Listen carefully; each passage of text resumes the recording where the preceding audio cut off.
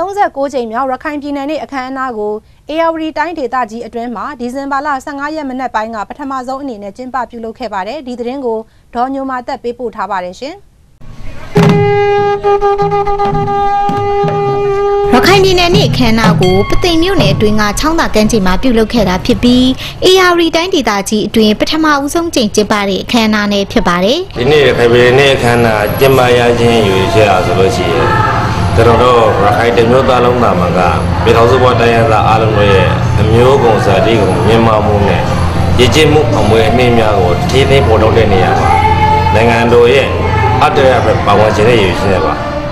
ဒီခမ်းနားကိုချောင်းသာကျေးရွာကရွာသစ်ဖုံးတော်ကြီးကျောင်းမှာကျင်းပခဲ့တာဖြစ်ပြီးရန်ကုန်မြို့ကလေးဝက်တီရခိုင်စီတော်ဖွဲ့နဲ့ပါဝင်တက်ရောက်ခဲ့ပါတယ်။ဒီမှာရှိတဲ့လူတွေကလည်းရခိုင်ရင်ကျေးမှုနဲ့ဆက်နွယ်တဲ့ဟာတွေကသူတို့အဆက်ဆက်မရှိဘူးဝေးနေတယ်။ဝေးနေတဲ့အတွက် ဟိုသူတို့အကတွေရခိုင်ကတွေရခိုင်ရိုးရာအကတွေအဲ့ဒါမျိုးတွေရခိုင်ရိုးရာရဲ့အစင်လာတွေရခိုင်ရိုးရာသမိုင်းကြောင်းတွေသူတို့သိကျင်တယ်လို့ပြောတယ်။အဲ့ဒီအတွက်ရန်ကုန်မှာရှိတဲ့ဟိုလေးဝတီအဖွဲ့နဲ့ဦးကအစီအစဉ်ပေးလိုက်တယ်အဲ့ဒီရခိုင်ပြည်နယ်နေ့အခမ်းအနားမှာတန်ဃာတော်တွေကိုဆွန့်ဆက်ကလှူဒန်းခြင်းညနေပိုင်းမှာဒေသခံရွာသားတွေကိုရခိုင်မုတ်တီစတုတီတာကျွေးမွေးခြင်းညပိုင်းမှာစာပေဟောပြောပွဲနဲ့ရခိုင်ရိုးရာယဉ်ကျေးမှုဖျော်ဖြေပွဲတွေနဲ့ပါဝင်မှာဖြစ်ပါတယ် ဒီမှာရှိတဲ့ဒေသခံရခိုင်ပြည်သူလူထုတွေကိုကျွန်တော်တို့က